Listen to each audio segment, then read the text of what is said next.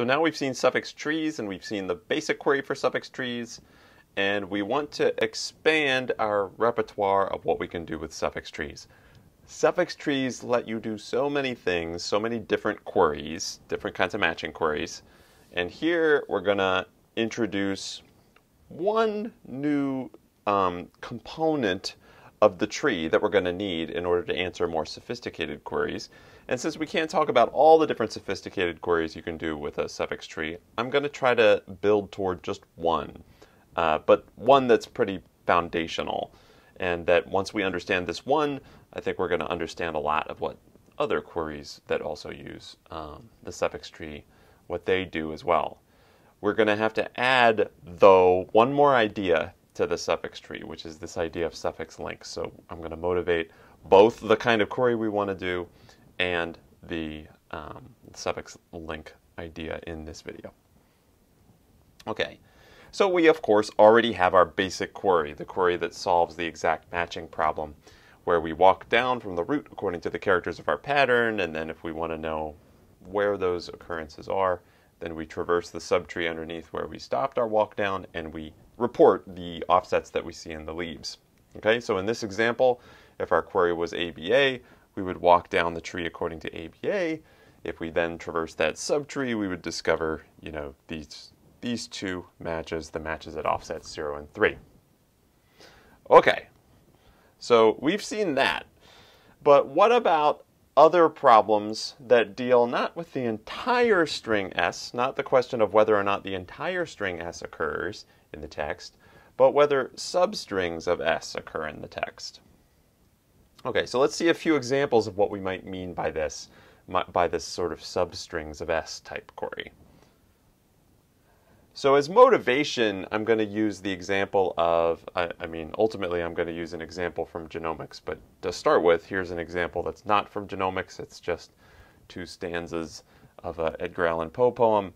And I just want to show you that it can be enlightening if we are comparing these two stanzas and we want to know what's the same and what's different between these two, right, the one on the top and the one on the bottom, it would be awfully helpful if I could just highlight the substrings of the two that are identical. So for example, if I highlight all the identical substrings here, um, I get what's what's drawn in red, right? So the red is just the, basically all I've done is I've highlighted the words that are in common between the two. And so as soon as you highlight those red, it throws into contrast the difference between the the uh, you know the the distinction between the similarities and the differences between the two stanzas. So it's a very useful initial thing to do is to figure out where are the substrings that match between these two strings. So that's a, an example that's in English language, but we need this all the time in genomics especially when dealing with questions of how to compare two genomic sequences, like two assembled genomes. So, for example, I have a picture here that has an excerpt from two different strains of the SARS CoV 2 genome. And if I just use red to highlight the substrings that are similar, it's going to shed a lot more light on how similar these sequences are than you can get just by staring at this picture. So here I go. There now I've highlighted in red everything that is a substring that's matching between the two, and the black is just the sort of the pieces between those substring matches. Okay, so immediately, again, it sort of throws into relief or makes it clear by contrast the parts of the genomes that are the same, the parts of the genomes that are different. This is another example of a plot that often is made to compare two genome sequences, sometimes called a dot plot, that's been made with a tool called MUMmer.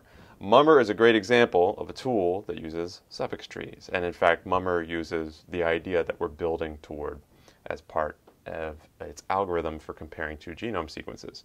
But what you see here is just a, a diagram. It's, a, it's something like a scatter plot where you have to imagine that on one axis I have an excerpt from one genome, and on the other axis, I have an excerpt from another genome. These happen to be two fung fungus genomes that are being compared here. And the colored X's in this diagram, some of which are red and some of which are green, correspond to substrings that are in common between the two. So if a substring is in common between the two, we plot a dot for that substring, and its uh, position along the horizontal axis is its offset into the first sequence, and its position along the vertical axis is, is its offset into the second sequence. So again, it's another way of just quickly figuring out what portions of those genomes are similar. And in genomics, we have this somewhat interesting case where similarities between two genomes might actually be not on the same so-called strand of the DNA, but on opposite strands. Right? So that's that's why you see red trails that go kind of in one diagonal direction and then green trails that go in the other direction. They correspond to some similarities that are between the same strands on the two genomes versus some similarities that are between opposite strands on the two genomes. Okay, so all of this is to motivate our ability to use the suffix tree to find substring similarities between two strings. So let's see a little bit more about what we mean by that. So take, for example, this text in this query, right? Our usual text, and then new query, ABAB. ABAB, let's just look at the text for the moment, not the tree. Just looking at the text, ABAB does not occur in that text. However, a piece of it does, right? So like ABA, for example, is a long substring of S, a length 3 substring of S, that does occur in T. But the entire substring, ABAB, the entire string, does not occur in T. Okay, so ABAB does not occur, but a piece of it does. So how would we discover or observe this fact over the course of trying to match the string ABAB using our usual exact matching uh, strategy of walking down from the root? Well, if we walk down from the root according to ABAB, we would follow this path, ABA. Then the next character in our query is B, but there is no outgoing edge from that node whose label starts with B. So that would be where we would, quote unquote, fall off.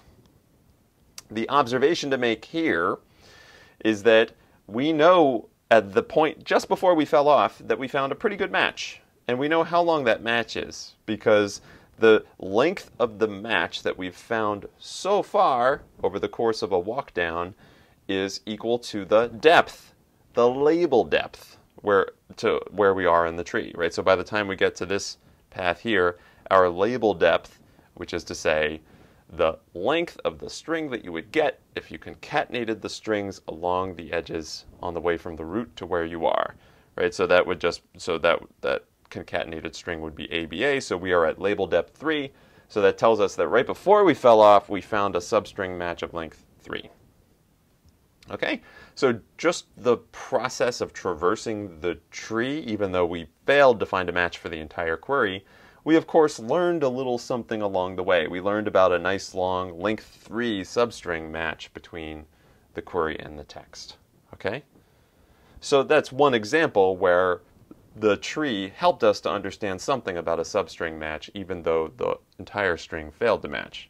Okay, let's look at another example like that. So same text, new string. This string is BBAA. And just like before, let's look first at T and see if BBAA occurs. No, it does not occur.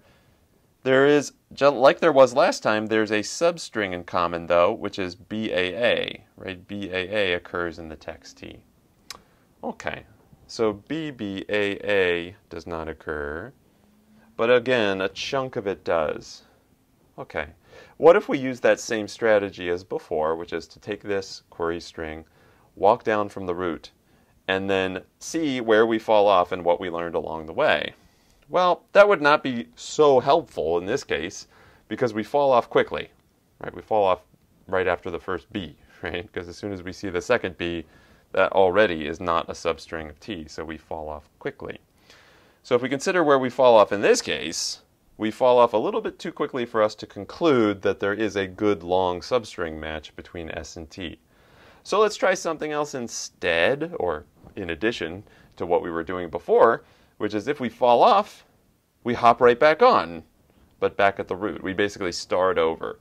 So if we fall off here after this B, let's just say our new strategy is that we'll go back to the root and try from there on to match the rest of the characters in S. Okay, so in this case, that would mean that we, you know, we've already matched this initial, I'll use blue, we already matched this initial B. Now we're going to move, we're going to go sort of like, go back to the root and see if we can match the final BAA. And we can, of course, in this case, because that's the substring that's in common. So we can walk down according to BAA. And now we've learned that even though the entire string doesn't have a match with respect to T, there is a nice long length 3 substring, in fact it's a suffix, of S that does have a match. Okay, so we just had to sort of augment our strategy a little bit so that when we fall off, we don't immediately give up. We sort of keep trying. And in this case, my suggestion for how to keep trying was to start over, start from the root, but then continue to try to match characters from S. Okay? So that's a basic strategy, but it's not going to work perfectly. So let me show you another example where even this strategy that involves starting over is not going to be perfect. Let's take another string, BABA. As usual, like in the last two examples, BABA does not occur in the text T, but a piece of it does, right? So BABA does not occur, but as we can see, ABA does occur. Okay, so if we were to walk down according to the characters of BABA, we would go like this. BA would get us to here, and then we would fall off. Okay? So we learned that there's a length 2 substring of our query that occurs in the text, BA, but we don't want to give up there. There might be an even longer substring of our query that occurs in the text T, and maybe we want to know that. So let's try this idea of resetting. So resetting means we go back to the root and we just try again from the next character in S. In other words, we say, okay, well, we're done with this prefix. Now I'm going to go back to the root, and now I'm going to try to match the last two characters of S. And we can do that, and they'll match. And there we go. We found another length 2 match. It's actually the same match we found before, which is the substring BA. However, that's not as good as we could possibly do, right? We could do a little bit better because, of course, the substring ABA also occurs in T. But we missed that, right? This simple strategy of walking down, and then if we fall off, we simply reset ourselves back to the root that was not quite sophisticated enough to find the longest substring in common between S and T in this case. We need to be even more sophisticated than just this idea of resetting. Okay? And the problem with this reset idea is that the reset has no way of carrying over information from the partial match, from, from the match we've seen so far, into the next one. And that's kind of what we needed to have done in this case, right? We, when we went from the first match, which was this first BA, and moved on to the second match, which was this second BA, we kind of drew a line and ignored everything that came before when we started over. However, if we had a way of trying to remember this A, right, the fact that this A was here at the end of our previous match, then that somehow carrying over the information about that partial match into the next step would have given us what we needed. It would have given us the ability to find the length 3 substring. Right? In other words, if instead of resetting back to the root, we had reset back to here, right? Accounting for the fact that we still have that A on the end of our previous match, then we would have found the length 3 substring ABA. So that's in essence what we would like to do but we need to have this kind of thing in the data structure, these kinds of what you might call shortcuts in the data structure, or we're going to call them suffix links in the data structure.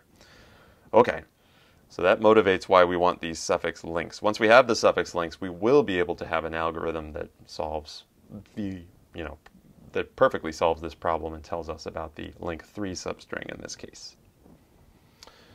So to carry over information about partial matches into subsequent steps in the algorithm, we're going to augment the suffix tree with suffix links. I need to define now what do I mean? What's a suffix link? The definition of a suffix link depends on the fact that we have to remember nodes have labels, right? So in this diagram here, for example, I can highlight a couple of these nodes. This node right here has a label in the sense that it, there is a string that is spelled out if we walk to that node down from the root. And in the case of this node, that's simply the string BA, right? The label, the label on this one edge that we would have to walk down to get to that node. Okay. In the case of this node down here, it's ABA because those are the labels of the edges concatenated that we would have to walk along in order to get to that node. So recall that nodes have labels, and that's going to be important because our definition of suffix links depends on these node labels. Okay, so what are the suffix links? Well, I'll define them this way. If one node has a label x alpha, when I draw two things next to each other like this, it just means concatenated.